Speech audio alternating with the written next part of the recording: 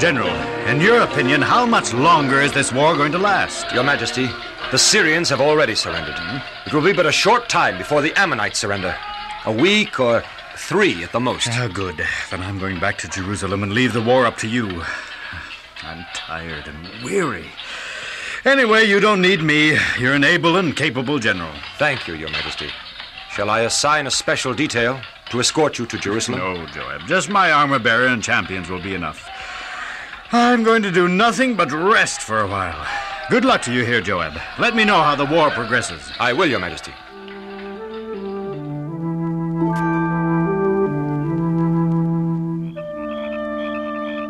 Anything I can do, Master? No, no. I'm just restless. It's so warm inside. It's cooler up here on the roof. Uh, you may go. I'll be all right. Yes, Master.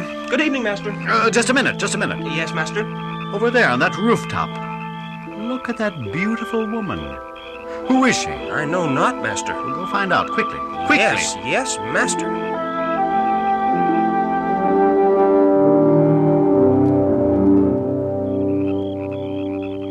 Master. Yes, yes. Who is she? Her name, Master, is Bathsheba, the daughter of Eliam, the wife of Uriah the Hittite. Ah, she's already married.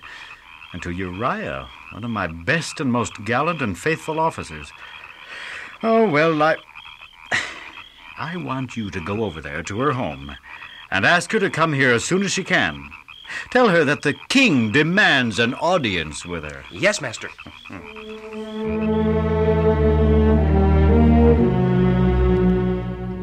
David had been successful in his battles and popular with his people. This honor and adulation were not without effect upon David. He began to feel that he was the important one.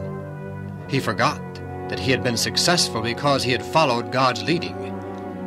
When the beauty of Bathsheba attracted David, he determined that he would have her, even if he must trample God's precepts in order to obtain his own selfish and lustful desires. Here, sit down, Bathsheba. I.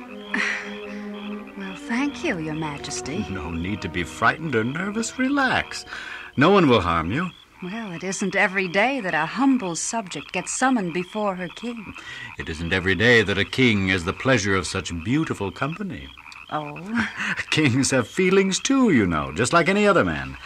And, if I may say so, you're one of the most beautiful women I have ever seen. thank you, sir. But I. Well, I'd better go now.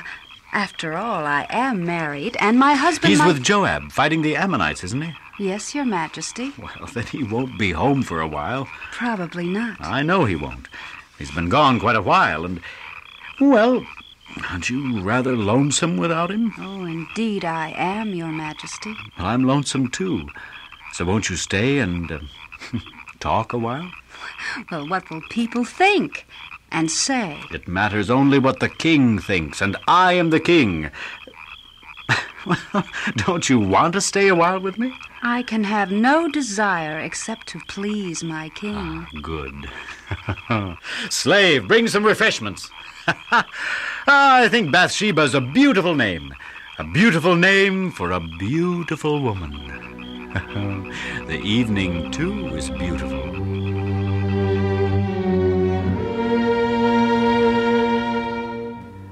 Send a messenger to the battlefront and ask General Joab to send Uriah here to me immediately.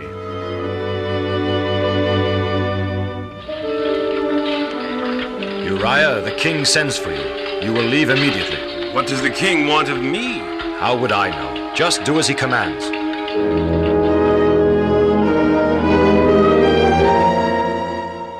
Long live the king! Ah, greetings, Uriah.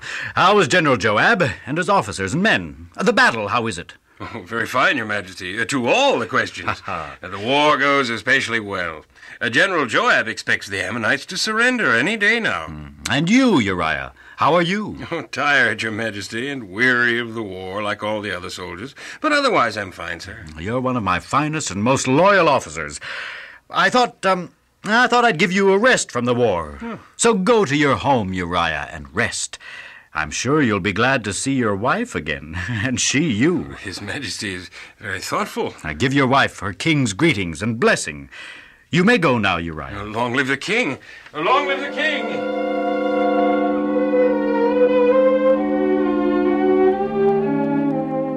Long live the king. Good morning, Uriah. Did you sleep well? Oh, yes, sir, and thank you, sir. They tell me you did not go home as I bade you, but slept with the servants. No, king. The ark of God and the people of Israel dwell in tents. Joab and his men sleep in open fields. Why then should I go to the comforts of my home? Ah. Nay, your majesty, I cannot. Well, uh, remain here for a few more days, Uriah, and rest. Then will I let you return to the battlefield. Scribe, one of my officers named Uriah is here in Jerusalem, awaiting my permission to return to the battlefield. Find him, will you, and bring him before me.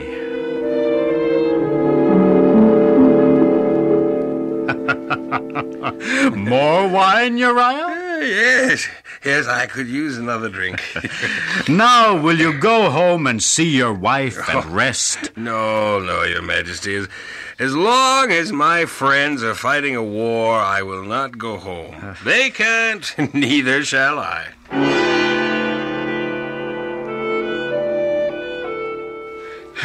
You may return to the battlefield now, Uriah. When you go, will you take this letter I've written to General Joab? General, sir, here's a letter for you from the king. Thank you, Uriah. Joab, greetings. I want you to place the bearer of this letter, Uriah by name, in the hottest part of the battle. Then get you away from him, that he may be smitten by the Ammonites and die. I wonder why all this fuss about Uriah. Uriah, come hither, please. Yes, sir. The, uh, the king highly commends you for faithfulness and loyalty. I need a brave, courageous man right now at the walls of Rabbah. Go there immediately and take charge of the fighting. Yes, sir.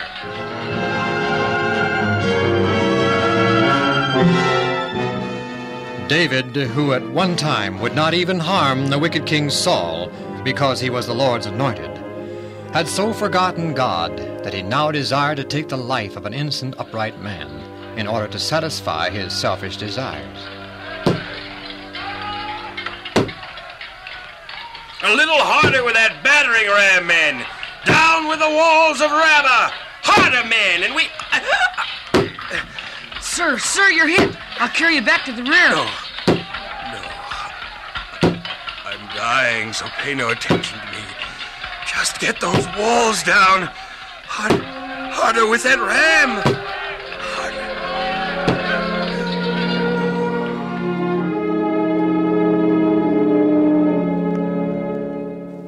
And so, Your Majesty, General Joab wants you to know that the faithful Uriah fell and died heroically. Hmm, take word to Joab that he's not to worry about it. War devours one as well as another. Tell him to fight a little harder and overthrow Rabbah. Yes, Your Majesty. Long live the king. Long live the king. Scribe, as soon as her time of mourning is past, send for the wife of Uriah. I would converse with her.